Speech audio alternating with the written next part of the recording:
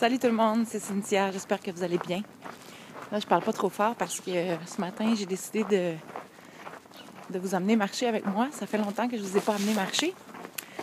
Sauf que là, je suis, euh, je suis dans mon quartier. Là, je viens de quitter la maison pour aller euh, au bord de l'eau. Il y a des gens dehors, ils vont dire la fille est folle. en tout cas. Donc, c'est ça, j'espère que vous allez bien. On est samedi matin, donc je suis en retard pour ma vidéo. Excusez-moi, parce que hier, euh, j'étais dans le dans l'écriture. Donc, euh, attendez, il y a des gens.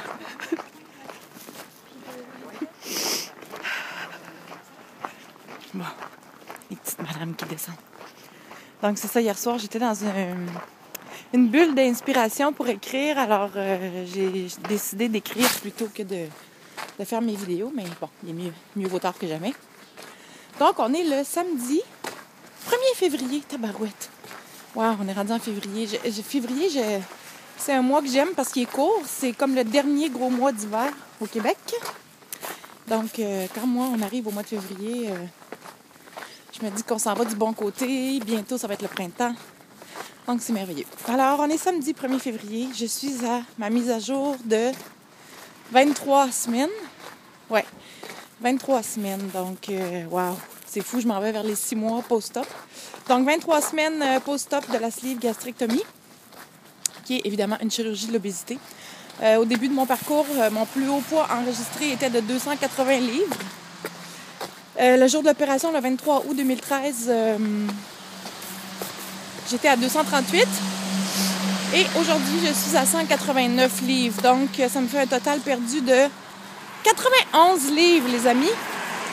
Le décompte est vraiment officiellement euh, enclenché vers le, le 100 livres de perte de poids. Donc, dans 9 livres, je vais être rendue à 100 livres perdus. C'est quand même... Euh, c'est pas rien.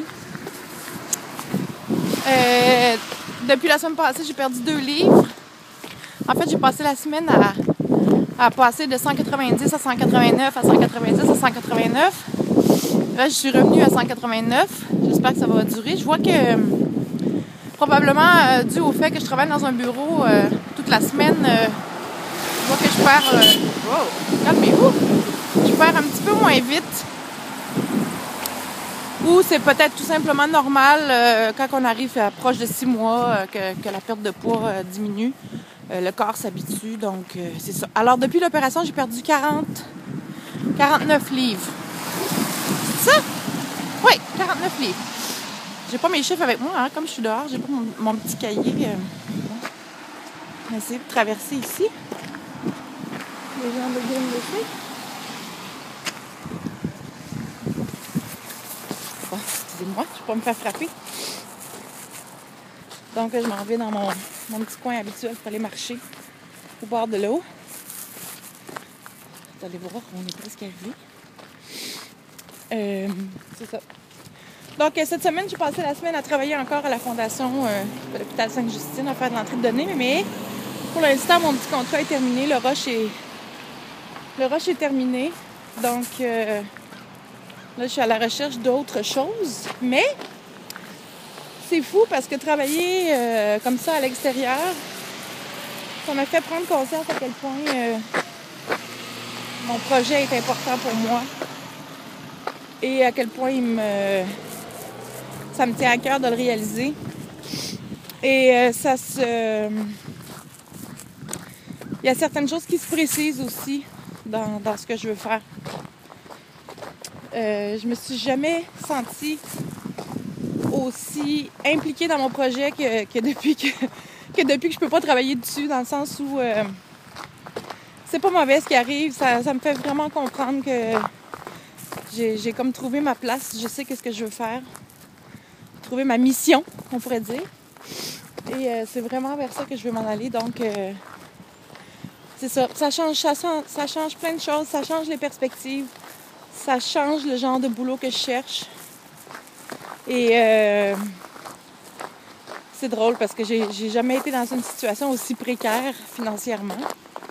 Mais en même temps, j'ai jamais été aussi calme, euh, aussi sûre de moi. Euh, c'est vraiment particulier ce qui se passe en ce moment. Je me sens vraiment très calme. très en contrôle, très zen. Et puis, euh, j'ai vraiment confiance que ça s'en vient, qu'il y a des choses qui vont bouger. Euh, j'ai eu plusieurs conversations avec des gens euh, significatifs qui vont peut-être pouvoir m'aider. Donc, c'est ça, ça, va finir par, par bouger. Oh, j'ai mal au bras. Le petit téléphone au bout de, à bout de bras, comme ça, c'est un bon exercice pour l'endurance des bras. Donc, c'est ça, niveau Niveau perte de poids, euh, bon, ça c'est. Ben, j'ai quand même perdu deux livres cette semaine. Je suis très contente. En plus que c'est euh, la semaine du mois. La semaine de madame, comme j'appelle tout le temps. Alors, euh, c'est ça. Mais quand même, je sens vraiment qu'il y a un petit ralentissement. Mais je sais que c'est au niveau de, l'exercice que, que, le bas blesse, comme on dit. Ah, tantôt, il y avait un beau, beau soleil. Là, c'est en train de s'ennuager parce que la neige s'en vient. Donc, euh, quelque chose qui s'affiche sur mon écran. Euh, c'est ça. Donc, euh, tout se passe bien. je me suis remis à l'écriture. J'ai beaucoup d'inspiration ces temps-ci pour écrire. Peut-être dû au fait que j'écoute beaucoup. Ben, je lis beaucoup et puis j'écoute beaucoup de, de conférenciers motivateurs et ça m'inspire beaucoup.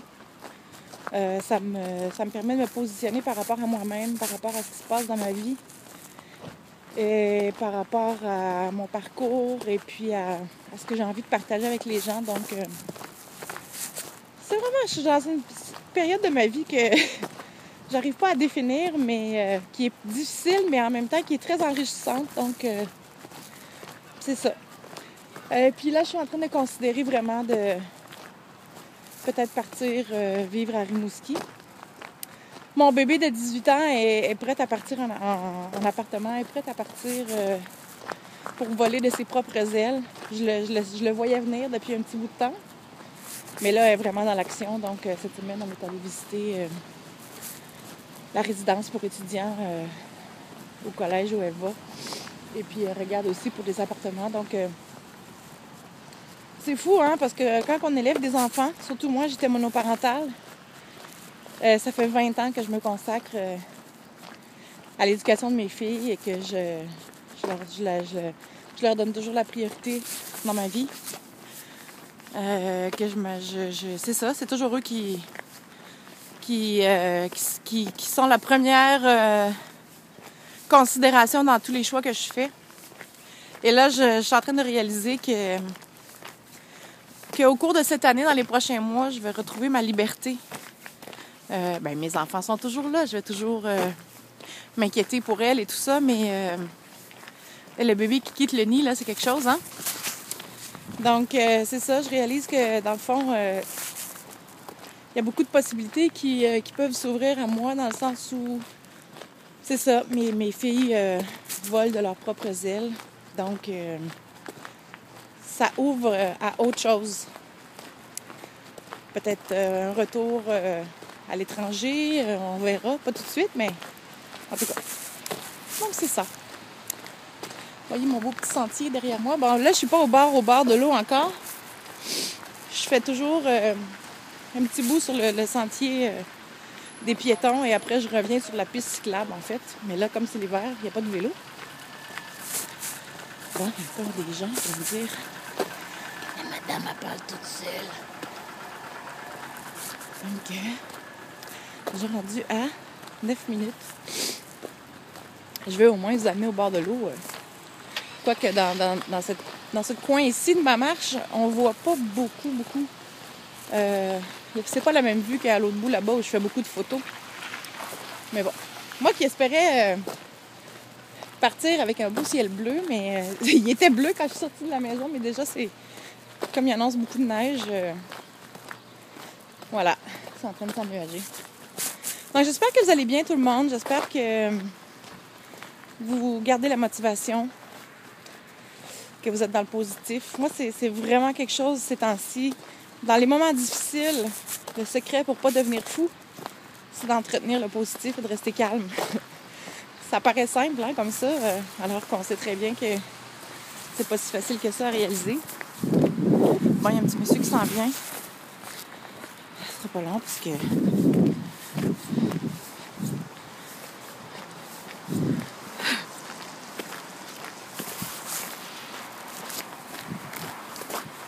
Bon. Je un peu bizarre. En tout cas, les gens vont penser que. Je sais pas. Ah, j'aime ici. Ce coin ici. C'est vraiment un beau petit coin. On arrive sur la pointe. Me tourner, ce sera pas long. J'ai plein d'affaires qui s'affichent sur mon écran. Ça m'énerve parce que je me vois pas. Ah! Alors, la fameuse pointe. Faire un petit tour 360. J'aime beaucoup cet endroit-là. On entend les oiseaux qui chantent. Les oiseaux sont contents aujourd'hui parce que il fait chaud. Ben, il fait chaud. On est rendu à moins 7, mais c'est supposé d'être à moins 1 degré aujourd'hui ou 1 degré. Donc aujourd'hui, c'est une journée euh, beaucoup plus douce. C'est pour ça que je profite pour venir marcher. Ça fait longtemps que je ne suis pas venue marcher. J'ai même pas déjeuné encore. J'ai juste bu mon café. Et puis, euh, c'est bon de. J'aime ça marcher à jeun. J'ai l'impression de, dépenser plus de calories que si je mange avant. après ça, quand j'arrive à la maison, je, mange tranquille. Et aujourd'hui, euh, c'est ça. Je vais, travailler sur mon plan d'action pour la prochaine semaine. Pour voir comment je, vais tirer mon épingle du jeu pour que je maximise mon temps. Bon, il y a du monde encore, excusez-moi.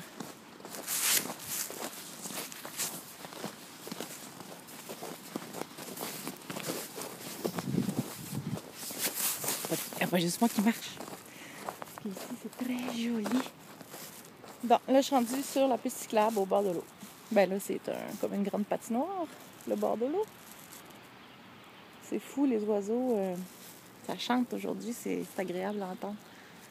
Ah, le calme. Ça fait combien de temps que je suis pas venue marcher? Il a fait tellement froid les derniers temps. Et puis évidemment, avec le travail euh, de 9 à 5, c'est difficile de, de venir marcher, de trouver le temps pour venir marcher. Il faudrait que je vienne très tôt le matin, mais quand il fait moins 25 avec le vent le matin au bord de l'eau, euh, c'est pas très, très encourageant pour venir marcher. Donc.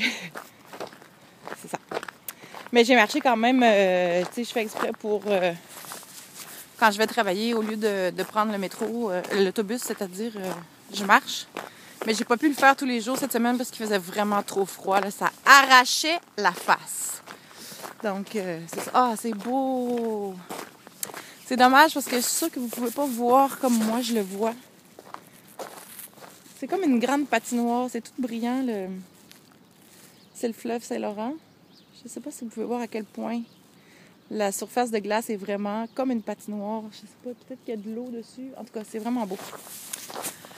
Donc, c'est ça les copinos. Euh, j'espère que vous avez passé une belle semaine que vous êtes toujours euh, sur la bonne, euh, la bonne route, que vous gardez votre motivation et que vous vous rappelez à chaque instant que vous pouvez toujours faire les bons choix et que euh, c'est avec des petits pas qu'on arrive à la réussite. Le succès se vit à chaque jour quand on réussit à prendre les bonnes décisions. Je le répète souvent, mais il n'y a, pas, de secret, c'est ça, c'est la vérité. Donc, moi, je suis contente jusqu'à présent de, de mon parcours, de comment ma comment ça évolue dans ma vie en général. Euh, je pense que quand on décide de, vraiment se prendre en main, de, de se respecter soi-même, de s'aimer soi-même, de plus accepter euh, n'importe quoi euh, dans notre vie, de faire le ménage. C'est vraiment un changement d'attitude, un changement de vie complet que j'ai fait dans la dernière année. Et vraiment, je ne sais pas pourquoi j'ai pas fait ça avant. Il y a des choses qu'on sait au fond de nous souvent, euh, des trucs qu'on tolère, des gens autour de nous qui sont supposés nous aimer, mais qui finalement nous font du mal plus souvent qu'autrement. Euh, dans notre travail, des fois on peut euh, se faire exploiter d'une certaine façon, pas nécessairement au niveau financier, mais pas d'appréciation. Il y a des choses qu'on tolère là, que la vie est courte, on ne devrait pas tolérer tout ça. On devrait toujours s'écouter, on devrait toujours écouter notre petite voix intérieure. Et on devrait toujours être notre première priorité. Euh, c'est pas de c'est, pas de la vanité, c'est pas euh, de l'égoïsme que de s'aimer soi-même. Si tout le monde s'aimait soi-même, euh, la, société serait tellement différente. c'est trop facile d'être dans la haine, la jalousie, l'envie, l'agressivité, l'impatience, l'intolérance, d'être dans la peur tout le temps. Moi, j'ai décidé que j'allais plus vivre dans la peur. Euh, ou dans l'intolérance, ou dans l'agressivité, ou moi j'ai choisi de tout ce que je fais, de, le faire dans l'amour. Pas facile à réaliser, hein. des fois c'est facile d'envoyer promener quelqu'un, mais moi j'essaie de. Maintenant, je sais, même les gens qui sont pas gentils avec moi, je, ne reste plus autour d'eux, mais je leur envoie de l'amour. Donc, euh, c'est vraiment. Ben, j'ai toujours été comme ça, mais Là, vraiment, c'est dans un état conscient à chaque instant. Je, veux juste du positif dans ma vie, je veux juste de l'amour dans ma vie, je veux, je veux être bien et je veux que les gens autour de moi soient bien aussi. Donc, euh, c'est ça. C'est ça maintenant euh, ma façon de, voir la vie. On va voir ce que ça va donner, mais pour l'instant, je suis très contente des résultats.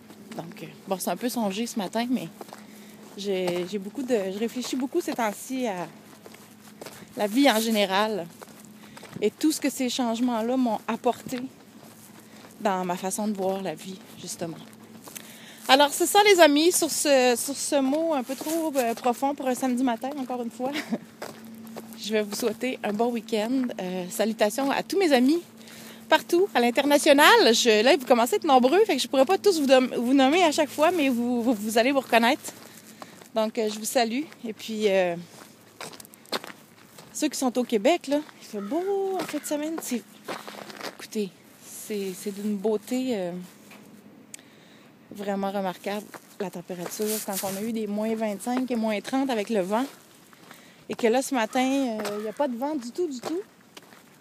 C'est calme, euh, c'est doux. Les trottoirs, si vous marchez en ville, les trottoirs sont dégagés. Même la piste cyclable ici, vous voyez, c'est partiellement, il y a de la glace, faut faire attention, mais c'est quand même. Euh, donc, euh, allez dehors, il fait beau, profitez-en. Fait que je vous souhaite un, bon week-end, un excellent week-end. Moi, je vais continuer euh, à développer mes trucs et à chercher un, autre petit contrat pour arriver à payer les factures, mais c'est fou comment je me sens calme. Alors, je suis vraiment contente et d'avoir partagé ça avec vous. Donc, J'espère que vous aurez pas trop ennuyé avec mes, mes, pensées philosophiques. Il y a un gros, gros corbeau en haut là-bas. Je crie fort. Donc, euh, bon week-end, les amis. Euh, merci de m'écouter, merci de me suivre, merci de m'encourager, merci d'être là. Euh, je le répète à chaque semaine, mais ça fait toute la différence dans mon parcours et c'est très apprécié de vous avoir derrière moi pour m'encourager. Donc, je vous souhaite un bon week-end, je vous embrasse et je vous dis à bientôt. Ciao!